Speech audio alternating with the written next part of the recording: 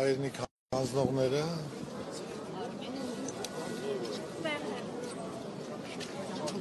ու Բայց մարդը կարամ ասում շվարած գնաց աշխարհից, էլի։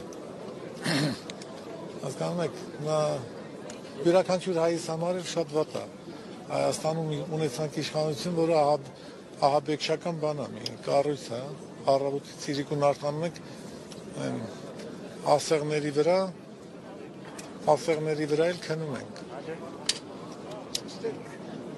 Մժդեհի խոսքերը շատ տեղին է, իր մերելներին չպաշտող ժողովուրդը դատապարտված է շատ ահավոր բանի։ Ինչին որ ականատես է, հա։ Ականատես կլնենք նաև այն բանին, որ մեր սրբագույն տղաները, որոնք իրենց մարմնով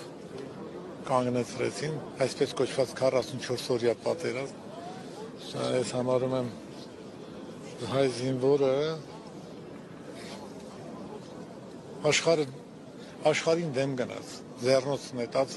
եւ ամենասարսափելին Հայաստանի Հանրապետության դավադիր իշխանությանը։ Այդ ցավալի է, որ այսօր նման խոնար հերոսին նես մի հատ իրավիճակ է, որ եւ դավաճաններն են եկել կանգնել գլխավերևին։ Շատ абսուրդ վիճակ է, այլ է։ Բայց վստահ եմ, որ շուտով կմաքսենք կունենանք այն Հայաստանը, որ ես ասում էի, որ մենք ուզում էինք,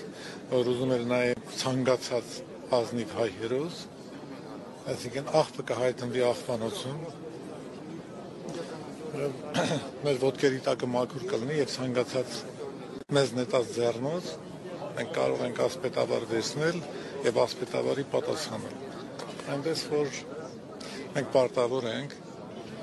ունենալ ոչ միայն կամանդոսի երազած Հայաստանը, այլ բոլոր այն տղաների, որոնք երազանքն աչքերին մեր հիշողության մեջ չեն ծերանալու։ Մենք կվերադարձնենք կոմանդոսի ազատագրած Շուշին։ Ոչ միայն Շուշին։